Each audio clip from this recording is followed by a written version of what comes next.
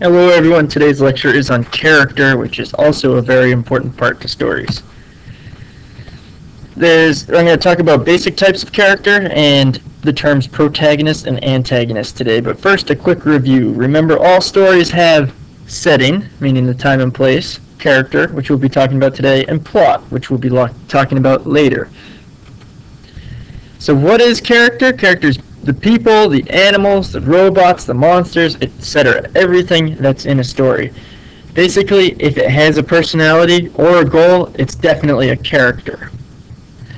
So what types of characters do we have? A basic description of the different types of characters we have. We have major characters, characters that have a big role, and minor characters, characters that aren't very important to the story. I want to talk about two important terms that have to do with characters today, and you'll definitely need these as we create our own stories. There's protagonist and antagonist. Quite big words. Well, a protagonist is the main character in the story. An antagonist is the obstacle the main character is trying to overcome. This can sometimes be another character, maybe an evil villain against the hero protagonist. Or it could also be a situation. Maybe it's a problem that's going on that the character has to overcome, that the main character has to overcome. It's etymology time, everybody, so I'm going to talk about the history of the words protagonist and antagonist. Hopefully that'll help you understand and remember those words a little bit more, because they're pretty big words. So, we've got protagonist.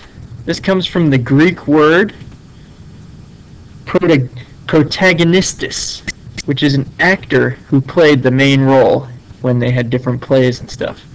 Protagonistes comes from protos, which means first, kind of like prototype is the first design, first type, prototype.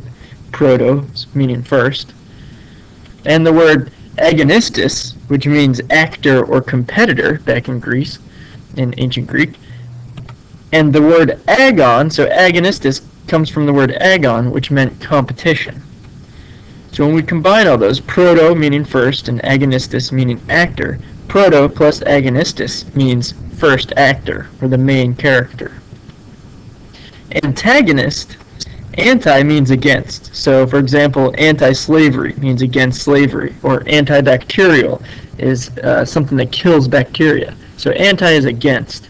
So if you combine anti, against, and agonistus, actor, you get against the actor, so antagonist, antagonistus, anti-agonistus. So antagonist is against the character, or against the protagonist. Quick review, there are major and minor characters. Major characters include the protagonist, which is the most important character, and the antagonist, which is the character or situation that causes the conflict for our protagonist.